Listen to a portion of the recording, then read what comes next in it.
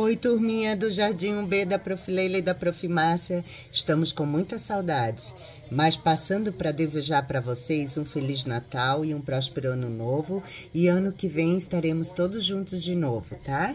Estamos morrendo de saudade. Um beijo no coração de todos.